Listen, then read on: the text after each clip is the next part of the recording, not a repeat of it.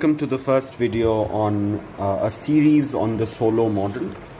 We're going to treat it mathematically. We're going to solve lots of problems because this is a topic which is often unaddressed, I think, in a lot of un- undergraduate macroeconomics textbooks uh, in a way that is analytically rigorous and enables you to actually solve problems which are not just calculating steady state and calculating uh, golden ratio, etc. Right?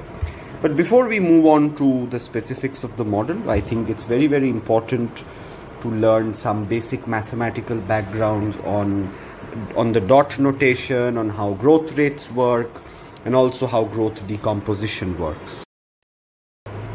Okay, so first the dot notation. This is very simple stuff for somebody who's uh, studied basic calculus, but I think it's important nonetheless.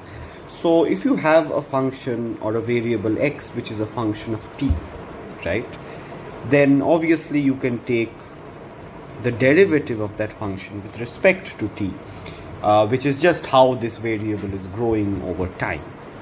And um, the definition of that, of course, is the fairly standard definition, which I'm going to write here nonetheless um, yeah. So this is dx dt right? Very familiar to everybody. And the way we represent it is by a dot. That is the sum and substance of the dot notation. So dx dt is just written as x dot. This eases things a lot as you'll find out very soon. But the dot notation itself is not very useful because it measures absolute growth right just measured measures let's say for gdp if you take x as gdp it just measures the result in dollars or rupees. So it's if, if your gdp grows by 10 billion dollars in a year that doesn't tell you much because you don't know on what kind of base that is growing. So so for an economy whose gdp is 100 billion that's very low. For a large uh, that's very high but for a large economy that's very low so obviously we go from dots to growth rates, right? So what is a growth rate then? The growth rate of a variable x, gx, um, is written as x dot by x. So you take the change in x and you divide it by the original value of x to get the growth rate. So this is growth rates. This is the growth rate of x. So, what do we want to learn about this, this growth rate? Some properties of gx or x dot by x uh, are, are things we need to know uh, in order to study the Solow model. So, the first property is that if y equals ln x, then dy dt is g of x. This is going to be confusing, don't worry. Uh, you're never actually going to apply this result directly in this sense. But some other properties are there which, which you're going to derive from property 1. So if z is equal to xy, then gz equals gx plus gy. Right? Similarly, if z is equal to x by y, then this is gx minus gy.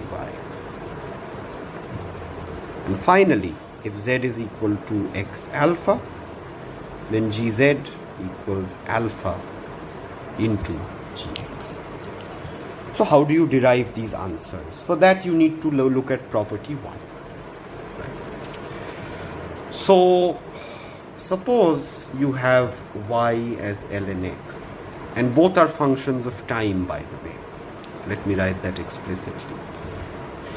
Now let's take the difference. Dif let's differentiate this with respect to t.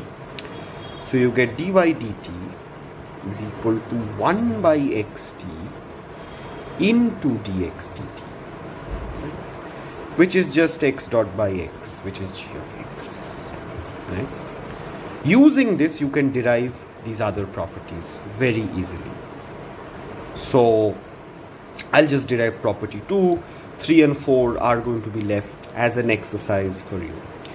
So z is equal to xy right? Just take a log here right? Ln z then is equal to ln x plus ln y right? Now you can use the result one directly but that's not very intuitive i think algebraically. So you should just take the difference differentiation with respect to x. So with respect to t sorry differentiate with respect to 2 t. You get 1 by y uh, sorry 1 by um, z. Z dot equals 1 by x. X dot plus 1 by y. Y dot. Which is just the result you wanted to prove at the beginning right? Results 2 uh, 3 and 4 can be proved by you once you use log. So this is all about um, the dot notation and growth rates. Um, one application of this you could try is um, if you have y of t equals a e g t right? And find y dot y.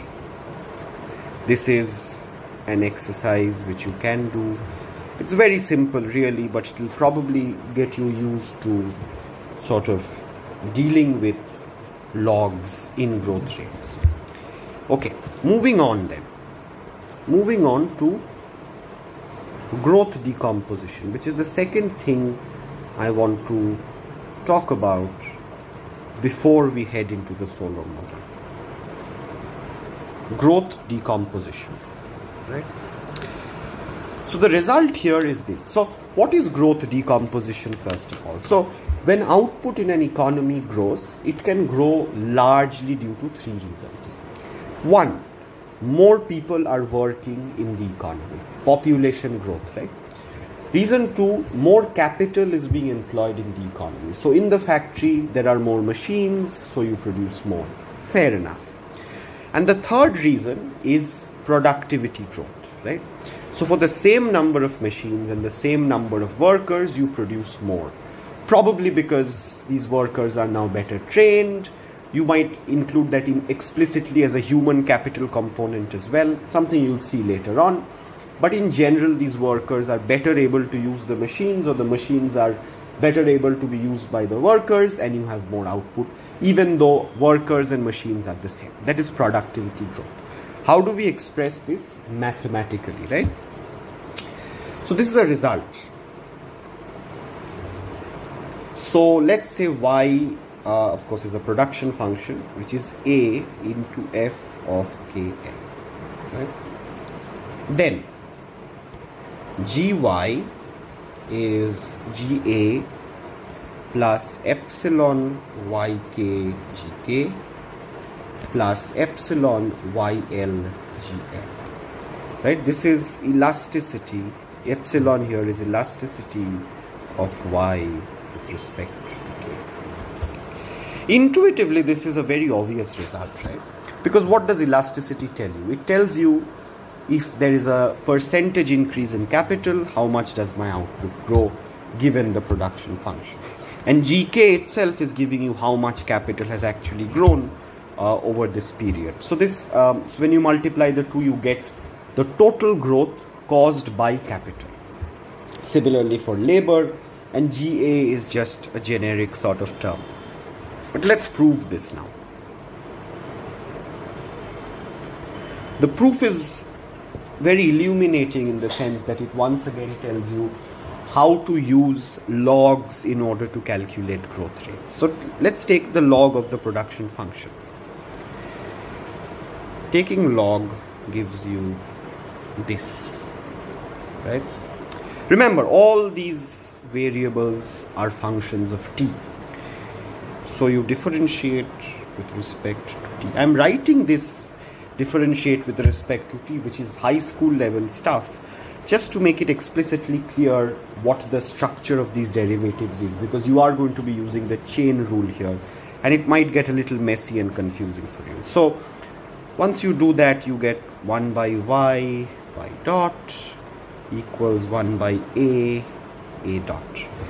Now is where things get interesting. So you have f of k l. You have fk differentiation of f by k and k dot right? Plus fl into l dot so you have gy as you wanted you have ga then you have um, so sorry. Yeah. Uh, you you divide divide by k to get gk and you multiply by k.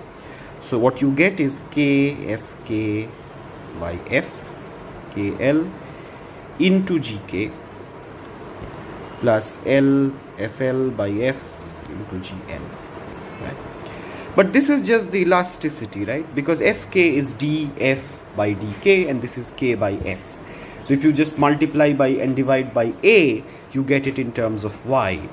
And so you get the final result which is this. Um yeah. Right? And so uh, in fact for the very standard production function which is this you get gy equals ga plus alpha gk plus 1 minus alpha gn and this is in fact uh, a result which is very often used um, just to ask you directly to find ga because in a given economy gk and gl are easy to calculate right? You just go out and survey the capital in the economy or the labor force of the economy um, at full employment. Uh, and of course gdp growth is directly calculated. Ga can never actually be calculated right? But once you know the other three things alpha is a known you can find ga and ga is referred to as total factor productivity growth right? This is the growth which is basically not given by anything else and so this refers to growth in things like how a worker uses a machine or a computer. Or uh, maybe maybe you know you give workers a four day work week because of which that that's improved their productivity. So this is productivity which cannot be explained by anything else. So we ascribe it to this mysterious factor called total factor productivity. So that's just the background of this but um, once you know this you're able to find that as well. Thank you. That will be that for this lecture